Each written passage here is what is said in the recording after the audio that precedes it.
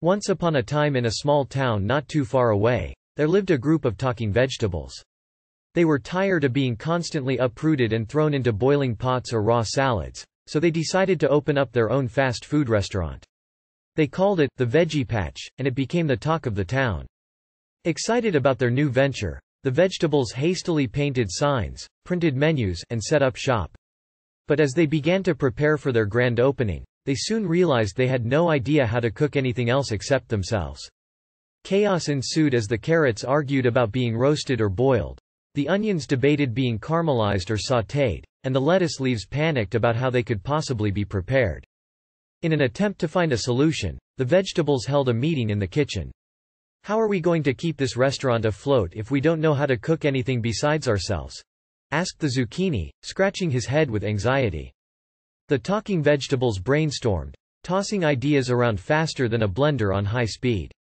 Finally, they decided that each vegetable would swap roles and learn how to prepare a different edible ingredient. The broccoli would learn how to cook pasta, the tomatoes would master the art of making a tomato sauce, and the cucumbers would become experts in making salad dressings. With newfound determination, the vegetables began their crash course in culinary skills. They chopped, they stirred, they sautéed, and they simmered. Though they made countless mistakes along the way, burning soups, overcooking noodles, they persevered, motivated by their desire to create a successful restaurant where vegetables never had to fear being eaten again.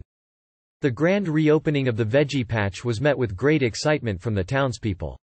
The aroma of roasted eggplants and freshly baked bread wafted through the air, and curious customers flocked to the restaurant. As the vegetables meticulously prepared each dish, they felt a sense of pride and satisfaction. The vegetables realized they had averted the chaos by learning new, compassionate ways to serve food. The newfound success of the Veggie Patch brought joy and unity among the vegetables. They decided to change the menu to vegetarian options, attracting a wider range of customers seeking healthier choices. Word spread like wildfire, and soon the restaurant became a sensation not only in their town but also beyond its borders. The vegetables lived happily ever after, basking in the success of their fast food restaurant. The talking vegetables no longer worried about being consumed and found fulfillment in nourishing people's bodies with their delicious vegetarian creations. And as the townspeople embraced the concept of a vegetable-only menu, they too discovered the benefits of including more plant-based options in their diets. The veggie patch became a symbol of compassion and harmony, a place where vegetables continued to grow together and trust that they would never be eaten by each other again.